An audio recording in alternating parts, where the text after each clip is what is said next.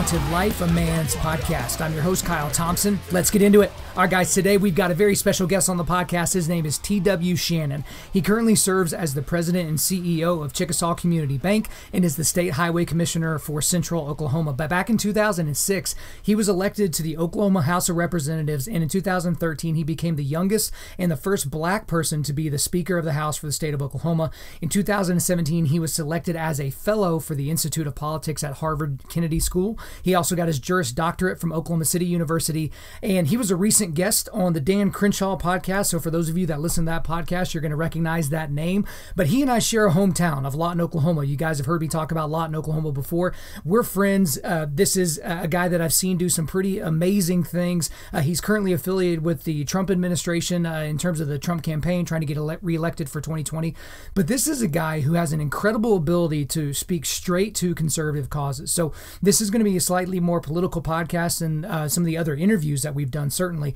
But I want you guys to make sure that you listen to this interview because of how TW describes issues. Because I asked him some hard questions today. And whenever I do these interviews, I'm trying to be fair, but I do want to ask questions that are a little bit more difficult, that aren't as puffy as the ones that they may may get on the news or something like that. I wanted to kind of dig a little bit deeper.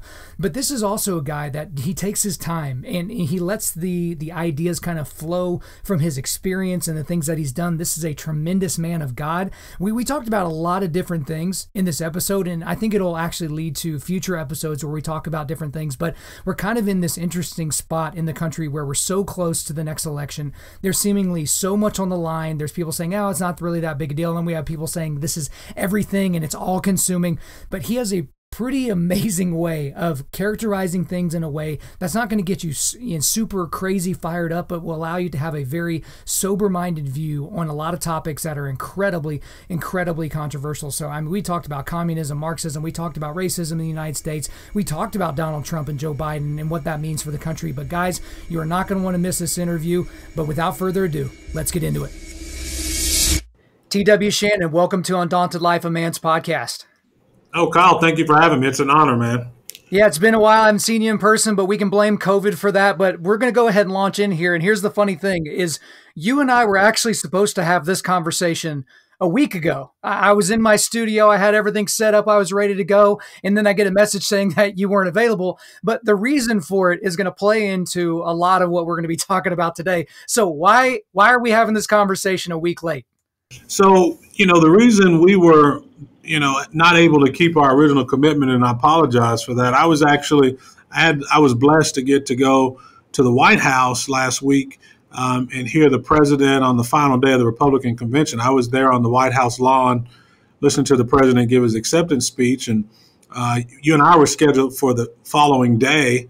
Uh, I was going to do it from the airport, um, but my challenge was um, the the, the protest that happened. My Uber driver, we couldn't get out uh, because there were protests everywhere, um, and and the and the usual routes were all because they were so limited. The the traffic, um, you know, kept me from making my flight, so I wound up missing my flight as a result, and that's why I called you to reschedule.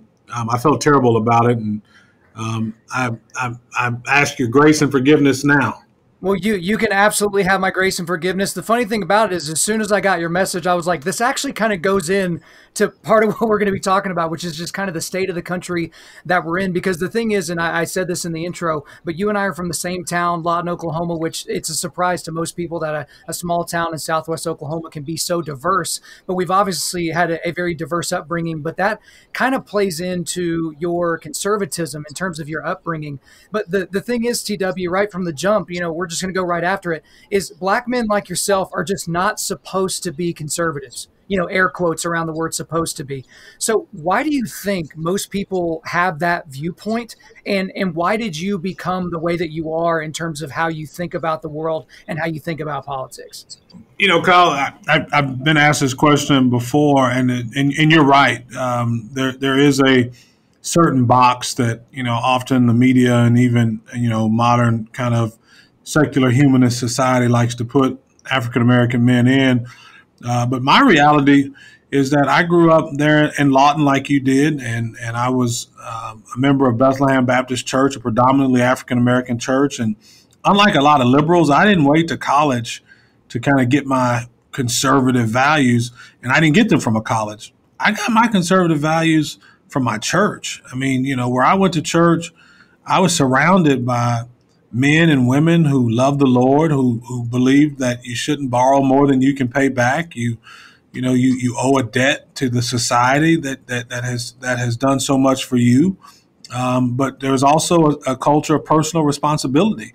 Um, I learned that in my predominantly African American church, and so when I when I became a, an adult and I started really giving thought to you know the political process and and where my values lined up, it was really easy for me. I mean, as as a as a as a believer, uh, somebody who God saved at an early age, um, always knew that you know I, I, was here that there was a purpose that, that God had a purpose for me that I wasn't a result of some hopping circumstance or that you know my life was just kind of meandering through. I knew there was a purpose. I didn't know what that purpose was exactly, uh, but I knew there was one, and and, and it has been an amazing adventure.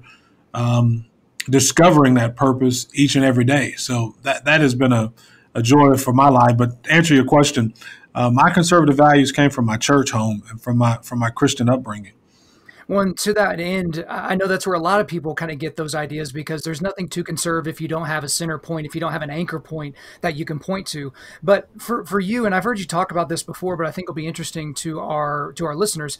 Eh, a lot of our listeners are concerned about you know Hollywood and the university system and the public schooling system and kind of what that's doing to people. It seems like many conservatives are just kind of fighting for the scraps of culture. I guess would be a, a way of saying it. So, from your perspective what is the future of the conservative movement in the United States? Because a lot of conservatives, myself included, are, are a little concerned uh, about what we see on the horizon. Yeah, you know, and, I, am always concerned too. It, it, always looks as if we're losing, right? That we've got this, um, you know, this this this world culture that has a different worldview than us, and and that somehow you know we're, we're behind the we're behind the times. But I tell you what gives me a lot of hope. I get a chance um, to speak a few times around the country at different college campuses, and I will tell you, people, the conservative movement is still very very strong, and I, I think even in what's happened with this COVID and government shutdowns around the country, I think people are really evalu- reevaluating this this march towards socialism that this country was headed down. I mean, you, you think about this, Kyle.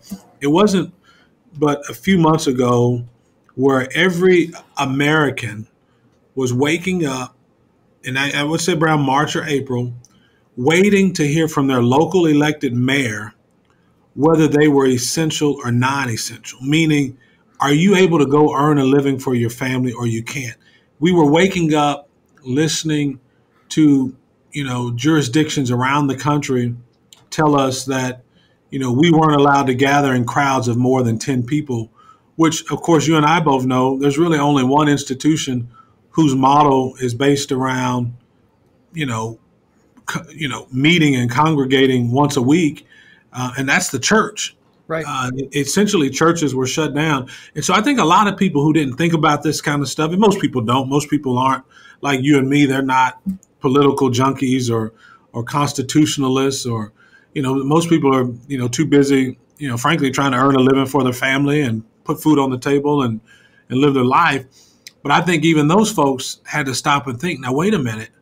What is the role of government? I don't know if my mayor should be telling me if i can go make a living for my family if i can. And so right. i guess what i'm telling you is i'm optimistic about the future. Um, i'm optimistic that you know and obviously we're in the middle of a of a of an election uh, right now, an election season, and I think this election will be very telling about the future of this country because um, I think the stakes have never been higher, and I think the contrast between the two candidates has never been greater. Either we're going to adopt this Marxist European socialist model of government, or we're going to continue to be the city shining on a hill um, that embraces liberty and freedom. So um, I'm optimistic about the future. Um, but I think we need to do our part to grow our party. Um, we have to make sure we're doing our part to reach out to other groups that historically we haven't, because ultimately we have the solutions that are facing uh, minority groups in particular but especially those groups that have been disenfranchised from the society as a whole. Conservatism, it still works. Well, I appreciate your optimism because I find myself being very pessimistic about a lot of things. But I do want to go ahead and dovetail into what you brought up, which is the election that we have coming up, because it seems like every four years we're being told that this election, this is the one, this is the one that sets the foundation for the future. But I think you'd be hard pressed to argue against your point about the the vast difference between Trump and Biden. And and honestly, Biden, I don't think he's as far left as he's portraying, but he knows he can't win uh, the Democratic support unless he goes farther left. But just generically, what are your thoughts? On the matchup between Trump and Biden. And as of the recording of this podcast, we're about 70 days out from the election. Yeah. Well, I, think I think it's pretty clear, and I think you're right. There is the old Joe Biden that people knew. You know, he was still left of center, but you know, I, I think the question is that Joe Biden doesn't exist anymore. I mean, the Joe Biden that we see today has fully adopted the, the, the socialist mantle. Um, you know, you look at you know what he's pushing in the adoption of AOC's Green New Deal and the way that you know he's embraced uh, Bernie Sanders and where where even Barack Obama a couple of weeks said there's not a whole lot of difference between Joe Biden and Bernie Sanders. I mean, that was Barack Obama Obama right. talking. So, right. um, you know, I, I, my my thoughts are is that the, that party has been completely hijacked by by the extreme left um, I think you know you look at the the looting and rioting that's happened around the country. Um, you know, it, it, took Joe Biden. Here's an example. If, if you think I'm if you think I'm wrong, you know there has been looting in Portland, Oregon, and rioting and violence for 70 plus days now. I think we're on day 75 or day 76. Joe Biden didn't even speak about it until like day 73. You know, the president has been on television, he's been on social media saying, reaching out to liberal Democrat mayors who have failed their cities, whose cities are on fire. And, and he's made the case that he's willing to come in and and be support uh, with and be and be a support with the National Guard if invited. And I, and I appreciate the president's approach. I'm a I'm a constitutionalist, and I'm glad he recognizes that we're a federalist society that the federal government can't just come in whenever it feels like it, even when it's needed. Um, they still have to work through the appropriate uh, sovereigns that, that that exist there. But it took Joe Biden 73 days before he even mentioned the violence, and I think that's just one example of how different those candidates are. And the, and the reality is this: I fundamentally believe that the greater the freedom, the greater the wealth. And what has kept America the city shining on a hill, it's not just that we've been blessed with amazing resources, and we have. It's not just that we've been given, um, you know, a, a, great deal of, I, I think, God's grace because we have. It's because we've kept this place safe and we've kept it a place where liberty um, can survive. And if, if, if for me, it's always about the promulgation of the gospel, right? It's how do you get the gospel spread around the world? And I don't, I don't think we need to adopt a theocracy. I, am not, I'm not for a government mandated enforced religion. Um, I don't want government telling me how and where to worship. Uh, but I do want government to keep it safe where I can express my freedom of, of religion, where I can exercise my constitutional right to worship and assembly. And that I think is what has created the greatest society known to man. It's really the promulgation of the gospel around the world, and and it's never been freer than it is in America.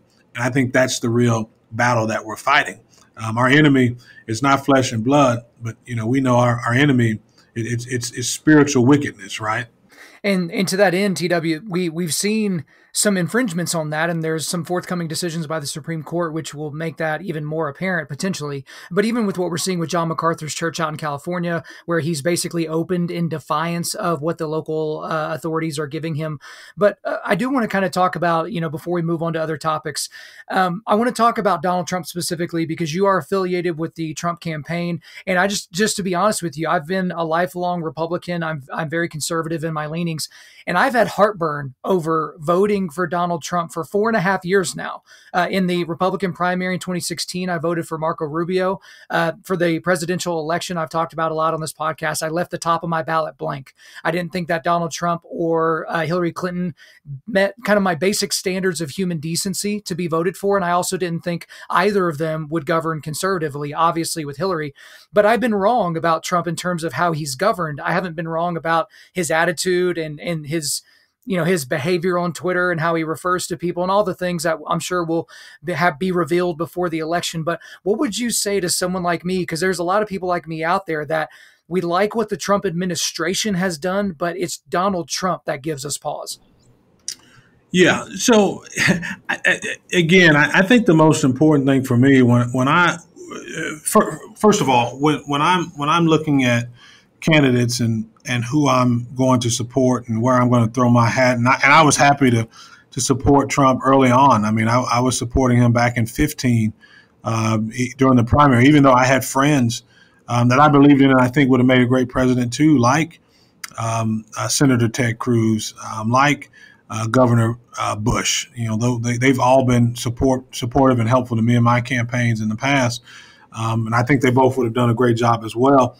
Uh, but I really felt led to support Trump. And, and what got my attention about him was I knew that he was different than any other candidate. You know, I knew that we needed to shake things up in Washington, D.C. We needed somebody that would look at things from a different angle. And and when I when I start comparing candidates, the first thing I always do is I remind myself they're just they're just men or they're, they're just a woman um, no more, no less. And, and that means that they're created in the image of God, just like I am. It also means that they they were born with a sin nature. And the first person I try to compare candidates to is Jesus. And and frankly, they all fall short when I do that. Of um, none of them live up to the standard um, that he would have us to live up to, because I know I certainly don't. Um, and so that helps me move on from there because when I recognize that they've all fallen short. Um, and I and I can set up my own measurement and rubric about you know which which faults I think bear more weight and which which you know which of their attributes you know are more important. But the reality is they've all fallen short. What, what I what I know about President Trump, President Trump, and what I saw in him, and what I still believe in him, is that his his focus for for wanting to see this country do better is unlike anything I've ever seen. And, I, and I've always said this, Kyle, and I've run for office before. People run for office of one of two ways. One of the things I always look at is why are you running? And most people run either because they want to be somebody or they want to do something. And Donald Trump didn't need to run for office to be somebody. I mean, I've known of him my entire life. I've known who he was. Um, I, have known about his success in business my entire life. He's been a pop culture figure uh, since I can remember. So he didn't need to do anything to be anybody. He didn't need to run for president or to be something. He wanted to do something. And, and his story about looking at this country and, and seeing how we were ceding jobs, ceding our place in the world to, to, to places like China, and, and recognizing that American exceptional exceptionalism is real. That was the thing that that drew me to President Trump. And so, for those who who have quirks about personalities or idiosyncrasies, I mean, you know, pick your poison. You you you can find that in any candidate. You can, you know, I, I don't know any candidate that I agree with 100% of the time, and I don't know any candidate who meets the standard of Jesus. And what what I what I what I do know is is that uh, Donald Trump now has a proven record of moving the needle on supporting conservative issues like no candidate I've seen in the last 60 years. Well, I certainly appreciate that perspective, and that gives uh, myself and a lot of our listeners some food for thought. I do want to transition now into the, you know, the the issue that's on everybody's brain and has been for months now, and that's race in America. Obviously, you would think after a country elects by a landslide a black president two times in a row to two consecutive terms, that you know race relations would be going in a positive direction. But I think Barack Obama did a lot of things to actually negate some of the gains that we've made as as a country.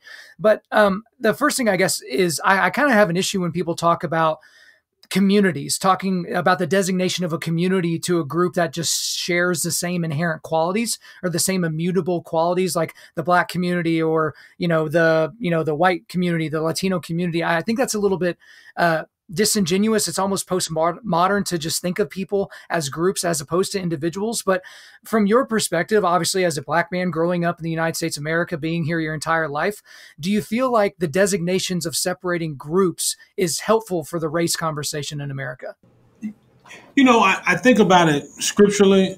Kyle, I, I always think about in Revelations the, the letters to the seven churches and you know, each one of those churches had its own personality and its own kind of cultural references. And so I, I don't I don't mind um, people assimilating um, and and sharing and interacting with, with, with, people that look like them and, and have a common experience, whether it be based around their heritage or whether it be based around you know Harley Davidsons, you know whatever the, whatever your fancy is. That that's part of what I think makes America great. I think the, the, the challenge is is when we do that at the exclusion of other groups, when we do that at the exclusion of other opportunities to interact. Um, you know, I'm, I'm okay with, with, with, guys who who drive Fords, and, and, you know, my family was a Chevy. It was a Chevy right. family. Um, and you know, the two shall never meet. And when I when I bought my first Ford, um, you know, my dad had real pause about that. Um, As he, he should. As yeah, he should, because yeah, he's a good American. That's good. And and you know, but after you know, after I put 150,000 miles on it and didn't have any any any any issues at all, he became a true believer too. I mean, he saw the value in it. And so my, my point is, I don't I don't want to trivialize uh, race in America, and I don't mean to do that at all because it is important. But my, my point is this you know what what has helped to make this country great is is our differences. I, I think the rest of the world, you know, you, you look at historically in the early days of our country, you know, people predicted our doom because of our diversity. They said that, you know, that mongrel race of people will never be able to sustain its its its its culture, that they'll never be able to form a government. Uh, but the reality is the diversity is actually our strength. And while there are differences, there are things that unite us as Americans. Now, unfortunately, in today's time and even during this election, there are groups out there like Antifa who are who are looking to divide us and to focus on the places where we're different. But my, my experience with talking to most Americans, whether they be black, red, orange, purple, or white, um, they they genuinely want a better living for a better life for their kids and grandkids. Now, we disagree about what a better life may be. We disagree about how we get there sometimes, but ultimately, those things unite us. And and and, and I and I so I don't I don't fear the the diversity issue, and I don't fear people assimilating with, with, with like-minded people. But when you start doing it at the exclusion of others, um, I think that is counter counterproductive, and I think it's countercultural to who we are as Americans. Well, let me ask you this. Um, obviously, Black Lives Matter is no longer a sentence. It hasn't been a sentence for a long time. Now it's an organization that has defined beliefs. They even have a website. So it's like we don't have to guess uh, what these people believe and what they think. Um, but there's been a lot of posturing uh, by media figures and by political figures and by sports figures. I mean, it says Black Lives Matter right there on the court, uh, there within the NBA. But from your perspective, what do you think about the Black Lives Matter organization? And what do you think that's doing to help, if anything, race relations in the United States? Well, you know, I'm, I'm like you. I, I always look at, you know, the origin of where things formed and, and, and what their purpose is. When I look at the Black Lives Matter website, there are some things that jump out at me that, that concern me greatly. And one of it, one of them being is that, you know, they, they are committed to be the antithesis to, to, to, to families, to, to core uh, to core strong families, and and that that gives me great pause because I believe if we're going to have a great neighborhood, if we're going to have a great city, if we're going to have a great state, if we're going to have a great nation, it starts with strong families. Um, and I also know that the the the founders of the group are self-professed trained Marxists, and so that gives me great pause about what their mission and their goal is. Um, now, the question has been asked about you know, whose lives matter. And I will just say this Black lives more than matter. Black lives are valuable because they're valuable to God, just like every other life is valuable. And and so this idea of just saying that they matter, I think life has to more than just matter. I think we have to value life. And that's and that means all life. That means even the life of the unborn. So um, you know, I, I think this group has has lost. I'm I'm, I'm okay in, in America with, with groups. Again, the idea. I'm a big, strong proponent. Of, I'm a constitutionalist who certainly supports the First Amendment right and, and that right of people to to assembly peacefully. Um, but when you start rioting and you start tearing up people's property and you start harassing Americans and and if you start using terror to accomplish your agenda, that makes you move from a political organization into a terrorist organization. And any any group that uses terror to to accomplish its goal, I think is an enemy of the people of the United States. So that's my thought. Well, technically, when you're using things like terror, uh, whenever you're threatening people with Molotov cocktails and saying, "Oh, but if you elect Joe Biden, this will all go away," uh, that's just it rings very disingenuous. But um, I'm not familiar. I'm not sure if you're familiar with Matt Chandler. He's uh, the the head pastor of the Village Church down in Dallas. But he said something here a few years ago that I want to get your thoughts on. He basically was talking about uh, hiring for church plants, and he said if a you know a headhunter brings him a white guy that's in eight out of ten and a black guy that's seven out of 10, he said, I'm going to hire the black guy every time. And he was talking, you know, of all the things that he does, he, he does kind of have more of a Marxist view on racism, but he's been called out by, you know, giants like John MacArthur and Voddie Baucham as, uh, you know, basically taking part in tokenism. And so, from your perspective, from what you see, because you're you're obviously a very adept guy at kind of reading the tea leaves, do you fear that all the social unrest we're feeling and seeing right now in the country that it will lead to more tokenism? Let me say this: I'm a big opponent of tokenism. It's one of the reasons when I was in the state House of Representatives, I led the effort in Oklahoma to abolish affirmative action um, in the areas of hiring, um, and, and college admission. And I felt strongly about it because as a as a father of two minority children, uh, my, my, daughter's 15 and my son is 11, and um, um, and they're both African American and Chickasaw, uh, so they're from two minority groups. And then my daughter, of course, is, is is is from another minority group. It was it was important to me that they didn't grow up with a stigma that they needed a lower standard in order to compete. Uh, my kids are blessed, like I was. They have two uh, parents who are completely dedicated to their well being. Um, I had that, and I had, like I mentioned before, I had a terrific church family. I mean, I had a village that saw to my well being, and my kids have a wonderful village. So they can compete on any standard that you give them. Doesn't mean they're going to always win. Um, it doesn't guarantee an out, guarantee an outcome, but I can tell you they can compete on any standard you give them uh, because they've been blessed with those resources. And I didn't want anybody to to look at them, and I didn't want them to achieve in life only to look back and think that they were able to do it because they had a lo- lesser standard because they, they don't have to do that. And so I'm a big opponent of this idea of, of, of tokenism. Um, and, and, and again, you know, I, I and I, I don't want to I don't want to I don't want to skim over what I think the initial protest started out about. I mean, I think when people look on television and they see an atrocity, they see someone being killed, they see an unarmed person, whether that be a black person, white person, female, male, or female. But when we see someone unarmed lose their life, we should be moved with compassion.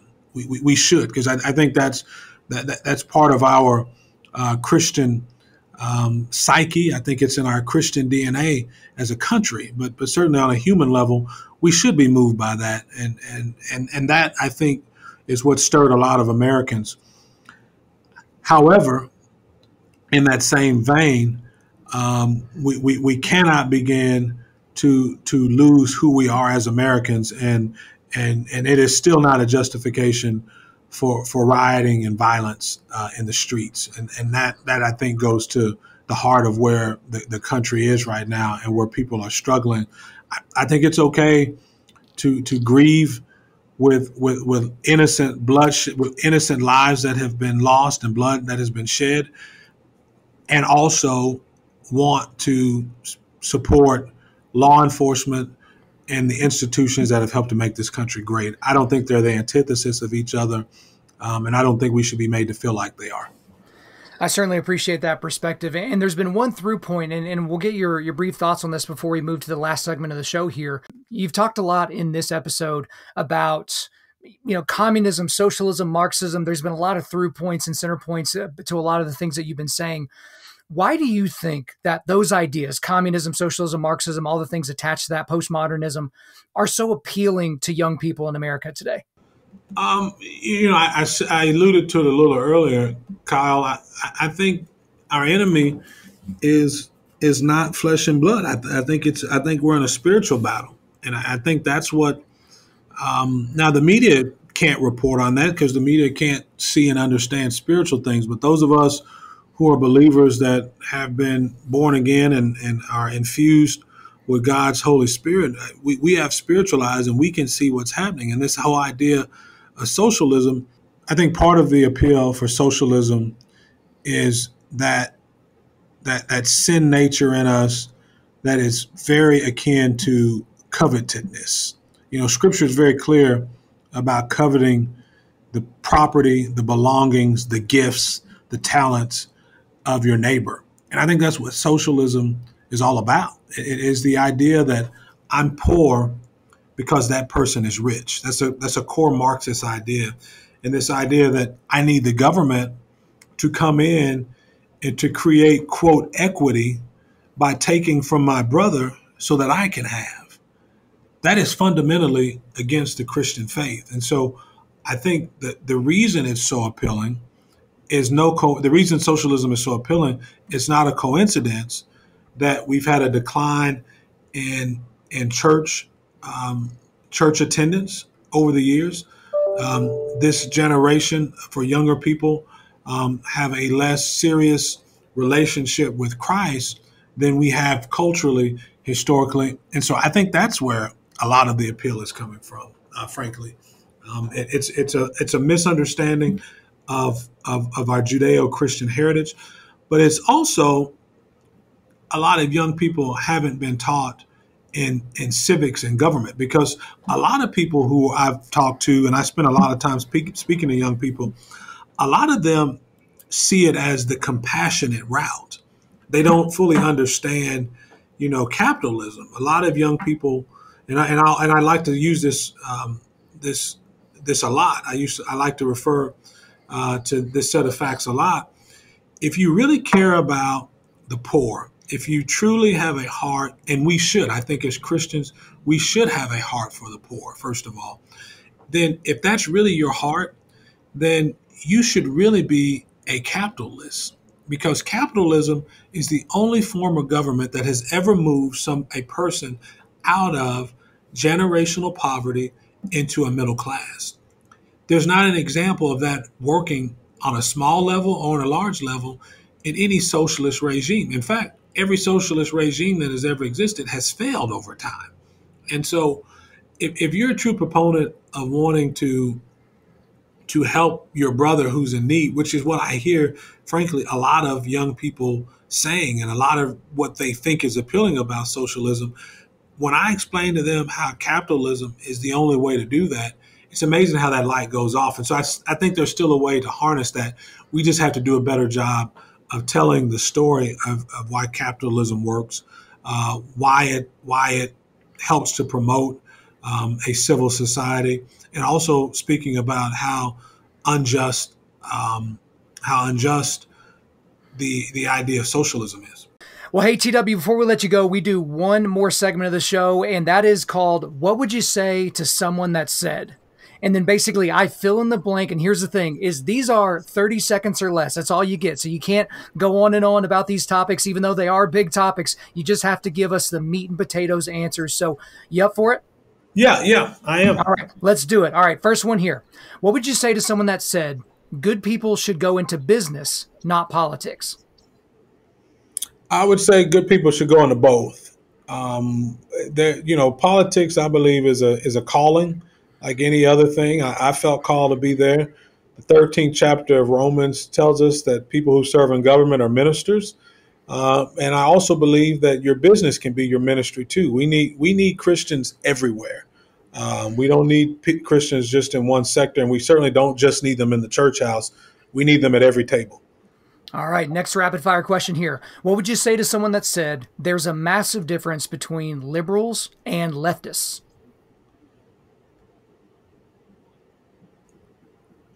I, I would say that used to be the case, but liberals have, with their cancel culture, they've made it intolerable for anybody who doesn't absolutely prescribe to the far left Marxist view.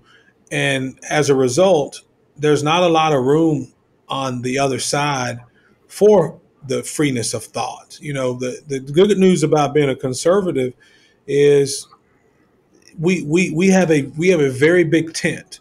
Um, and, and, and I think that parallels, I'm sorry, I think that is in the antithesis to uh, the modern day kind of liberalism because they're just pretty intolerant of anybody who thinks differently than them. All right, next one here. What would you say to someone that said the United States is a racist country?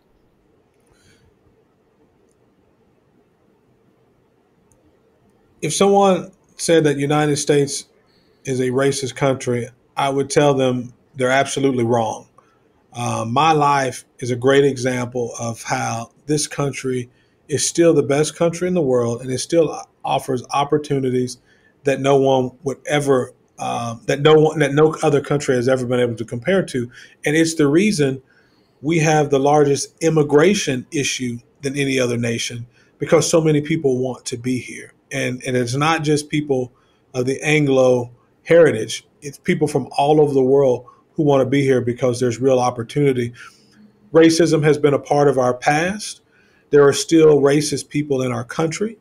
Uh, but when you think about what this country has to offer, that does not at all tell the story. This is still a country about freedom and about opportunity, and that's for everyone.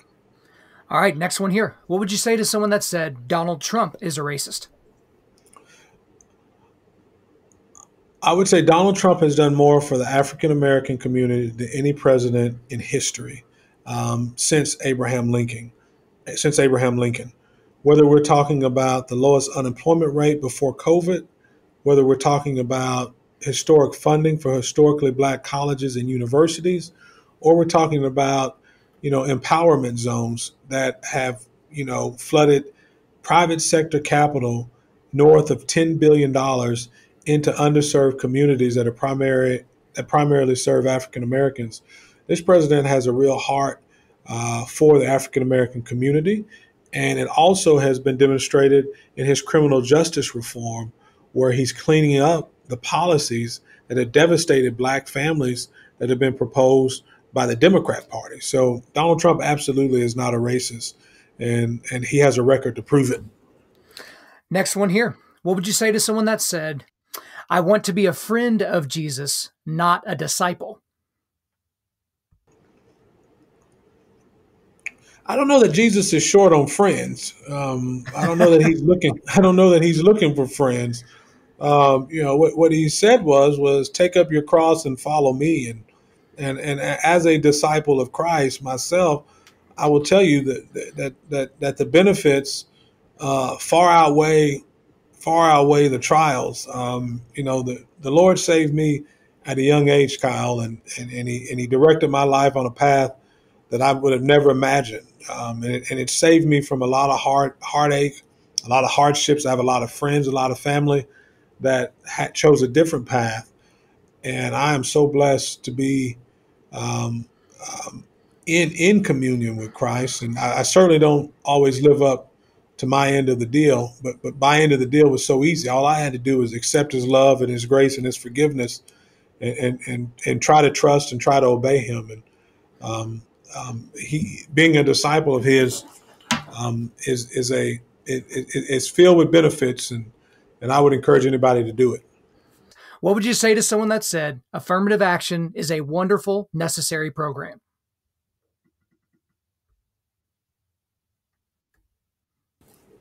I would say affirmative action has done more to to create a a stigma against African Americans than maybe any other policy in the United States. And and and every every African American that has attained a level of success or greatness I don't believe it's because of affirmative action. I think it was in spite of affirmative action. Um, African Americans are capable, are as capable as any other race of people, and we do not need a a second class standard in order to compete.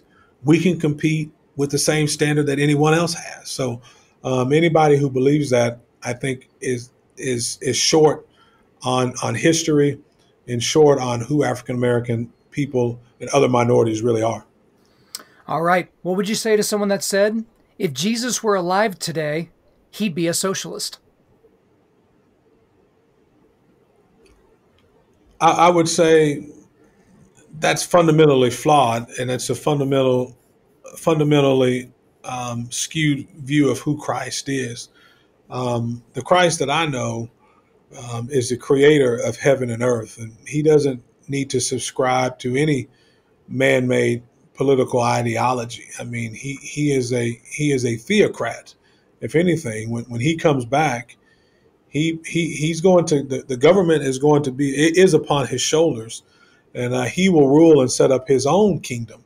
And so, if if you live right, and if you give your life to him, you'll get to experience the type of government he's going to institute himself. Love that. All right, just a few more here, and then we'll be done for the day. What would you? And it won't be social. And it won't be socialism. I guarantee that. yeah, yeah. I bet. I bet you're right. We don't know for sure, but we got a pretty good guess. It won't be. All right, just a few left. What would you say to someone that said, "Donald Trump has my vote in November"? Vote early and and do it in person. All right, next one. It's like it, just different. What would you say to someone that said, Joe Biden has my vote in November?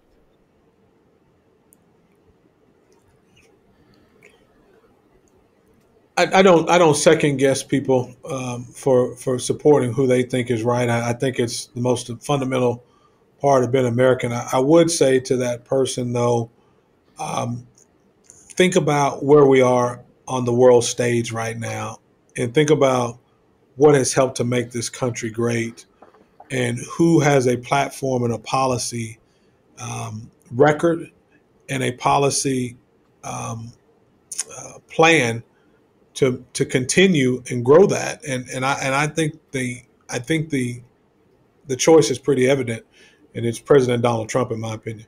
Last question of the day. What would you say to someone that said black people just can't get ahead in the United States? I think that's a joke. The idea that black people can't get ahead in the United States is just absolutely not true. Um, African Americans, if you look at if you if you want a great example of that, you can look at shortly after the Civil War, during Reconstruction, in places like Tulsa, America, where in the Greenwood district, where you had a thriving upper middle class of African Americans who were just recently out of slavery.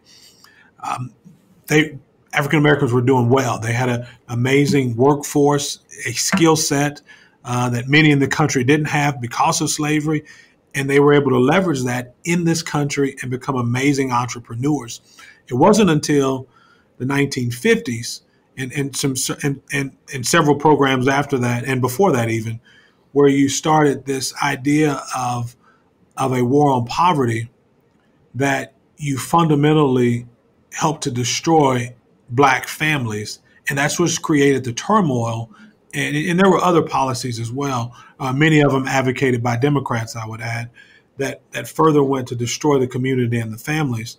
Uh, but African Americans have thrived in the United States at different times, and this country still creates an amazing opportunity for anybody who has a great work ethic, who's willing to work hard. Um, there's still great opportunity in this country. Well, TW, I've appreciated your perspective on a lot of different issues. We've talked about a lot of things today, but that is all for me. Is there anything else you want to get off your chest? Um, I don't think so, Kyle. I really appreciate you asking me on. It's a privilege to get to do it. Um, I'm a big fan of yours, always have been, and um, this is an amazing opportunity for this country, this next election, I think is critically important. And I hope everybody goes out and votes. And if you're unsure who to vote for, vote vote red. All right, TW Shannon, thanks for coming on Undaunted Life, a man's podcast. Thank you, Kyle. There you go, guys. That wraps up another interview with another great guest. But before we let you go, we are going to do a quick resilience boost. As you know by now, we are a men's ministry, and our mission is cultivating manly resilience. Specifically, we do that by providing content like this podcast that helps you forge spiritual, mental, and physical toughness. So for today, I've got some links for you. I've got an interview that TW Shannon did on C SPAN not that long ago, so I got a link to that here. And then there's a YouTube video called Black Voices for Trump Real Talk with Katrina Pierson, TW Shannon, and Paris Dennard. Then I got another one that's a little video that was done by the Chickasaw Nation here in the state of Oklahoma. It's called TW Shannon on Faith and Family. And the last one is just a link to TW Shannon's Twitter page so you can find him there.